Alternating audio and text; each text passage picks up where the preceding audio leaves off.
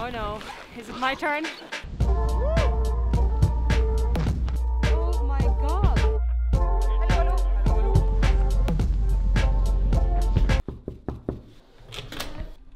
Hei, det er Evelina.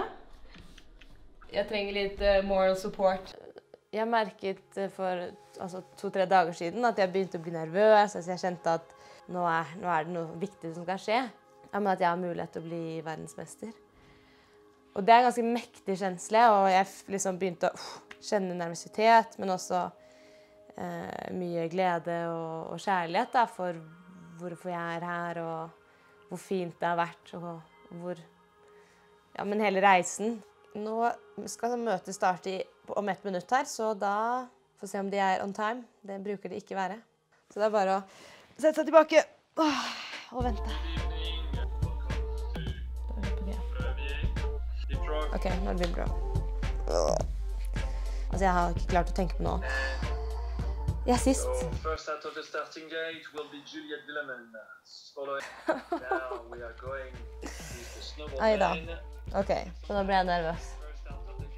Åh, nå blir jeg helt shaky. Åh. Potensielt kan jeg vite hvordan alle har gjort det før jeg selv starter. Og det kan jo være en bra ting, men det kan også være mindfuck. Nå må jeg høre på Harry Potter eller noe og tenke på noe annet.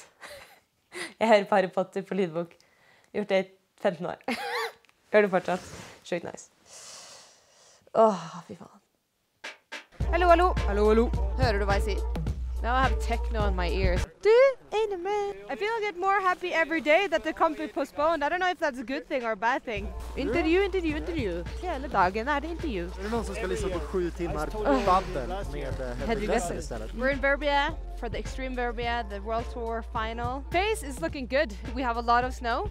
Interview, interview, interview, interview, interview. Do you want it with that in the background? Be a bit wind affected? Wait.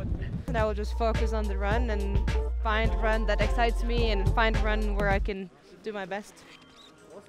Jeg gjør yoga to ganger om dagen, og eh, jeg føler jeg trenger det. Jeg trenger en timeout. Det er så mye hele tiden. Spesielt rundt konkurranse, og ikke minst her i Verbia.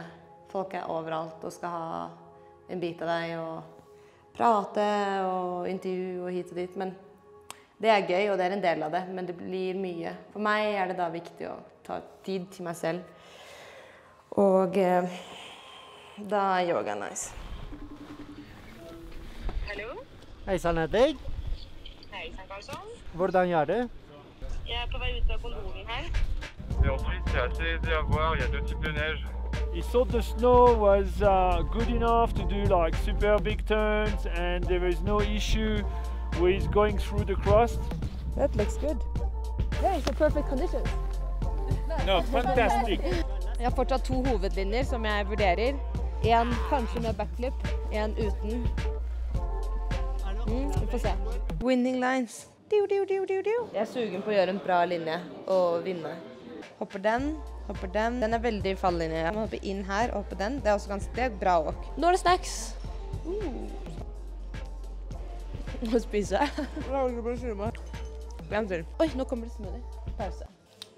Den er så stor. Nå tenker jeg at vi går og ringer Eveline, så spør vi hvordan det var. Ja, exakt. Og hvordan følte du hele kjenslen på å komme inn? Følte du at du så bra? Hvordan følte du liksom, Var det fin landing?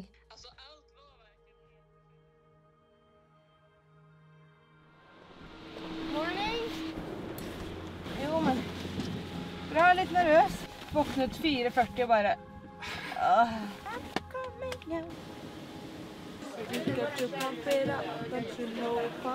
Jeg kjenner at nervøsiteten går sånn opp og ned i berg-og-dal-bane. Hello, good morning, and welcome to the Extreme Verbier, the fourth and final stop of the Freeride World Tour. my line. I just hope the snow will be on my side. Gotta be strong on my tiny legs, but I trust them. So, it should be a good day. coming across, flying off. Perfect connection with the landing. Elizabeth Gerritsen looking strong on the back.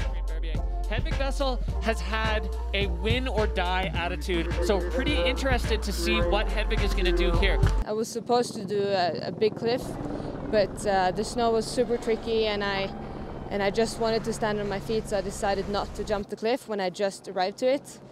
Uh, looking back, that was, I guess, a bad decision. Oh no, it's the overall tour ranking at Gerritsen. Elizabeth Gerritsen Oh by goodness. 20 points. By 20 points when 15 Still uh, struggling to believe what's happening. I can't believe it. Unbelievable. Such a spectacular day. Pretty crazy. I, as I said, I'm really bad at math, so I didn't even know I could take the title. Actually, I really hoped Hedvig would take it because she worked so hard for it. I think it's going to be hers next year.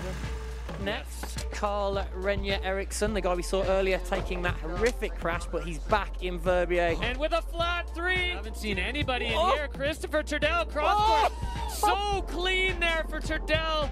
He's over the moon with that, and so he should be. Hot seat, and he just is so excited. Oh, he's there though! Är det sant? More champagne? Okay, goggles on. There